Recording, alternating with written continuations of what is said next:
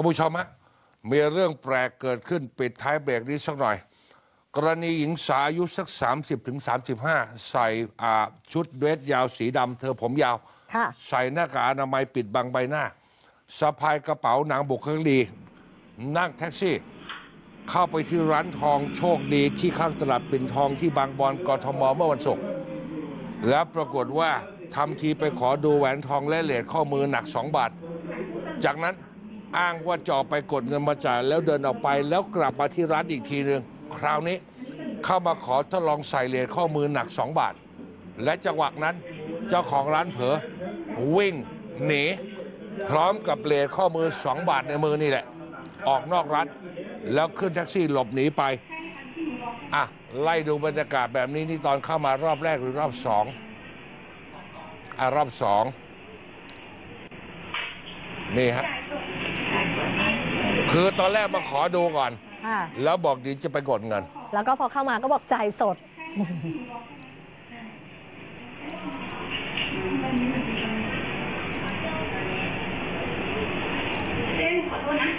นี่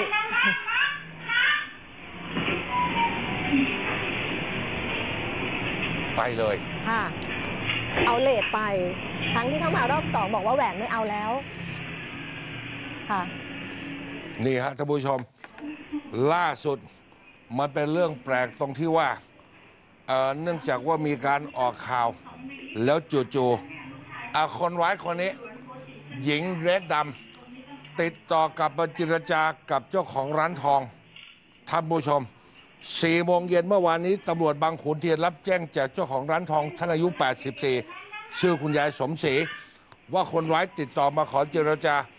จะขอจ่ายค่าทองส่วนหนึ่ง ที่เหลือจะขอผ่อนขอผ่อนเดือนละหมื่น ไปจนครบจำนวนแน่ท่านผู้ชม แต่คุณยายสมศรีไม่เชื่อ ตอนนั้นคิดไปว่าอาจจะผ่อนจ่ายแค่เดือนเดียวแล้วหายประสานตำรวจ ปรากฏตำรวจบางขุนเทียน ก็เลยบอกกับคุณยายบอกมามามาเรียกมา ลองดู ให้มาเจรจายอมความกันที่สอนอบางขุนเทียนเถอะ เมื่อถึงเวลานัดหมาย มาจริงๆ สาวเดดดำคนนี้นั่งแกร็บมาลงหน้าโรงพัก มาจริงๆ มาเจรจาค่ะ ตำรวจแสดงหมายจับ ข้อหาวิ่งราวทรัพย์กับนางสาวเกตกระดกหรือตาลอายุ 30 ปีคนนี้ แล้วควบคุมตัวเข้าห้องสอบสวน อันนี้แปลกปรากฏเธอให้การว่าติดพนันออนไลน์ เล่นพนันเสียจนต้องไปยืมสร้อยคอทองคำของเพื่อนไปจำนำเอาไปเล่นพนัน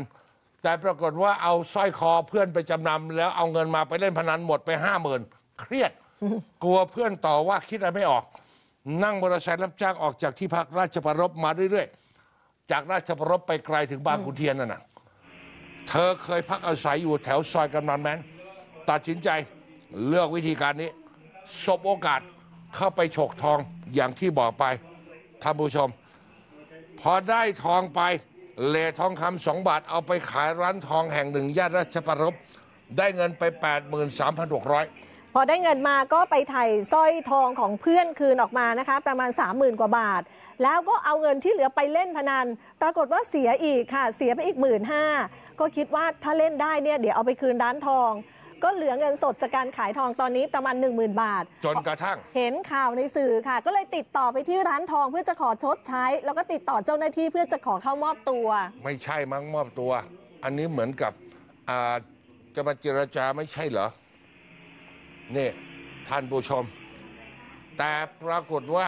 คือบางคนอาจจะบอกว่ามือใหม่หรือเปล่า ค่ะ ไม่ใช่หรอก ตรวจสอบประวัติเกตกระหนกหรือยายตาลเนี่ยเคยก่อคดีลักทรัพย์และลักทรัพย์ในจ้างในท้องที่สอนอบางรักทั้งหมดตั้ง 5 คดีนะคะ เพิ่งจะพ้นโทษมาเมื่อปี 64 ค่ะอ้าวท่านผู้ชม แต่ก็เป็นเรื่องแปลกนะอืมเออเอาไปแล้วค่ะเห็นข่าวให้ยติดต่อกลับไปเจ้าของร้านเดี๋ยวผ่อนให้ได้ไหมอืมแล้วมาเจรจากันลงพักตำรวจรวบเลย10นาฬิกา45นาทีเรื่องเล่าสาธิตช่วงหน้าอย่าไปไหน จะมอบซัมซุง ให้ท่านผู้ชมสักเครื่องหนึ่งค่ะ อันเนื่องมาจากเขาฝากผมมาบอกว่า เทคโนโลยีใหม่หรือฟีเจอร์ใหม่อยากจะแนะนำ AI เลย ค่ะ เดี๋ยวมาบอกว่าทำยังไง ครู่เดียว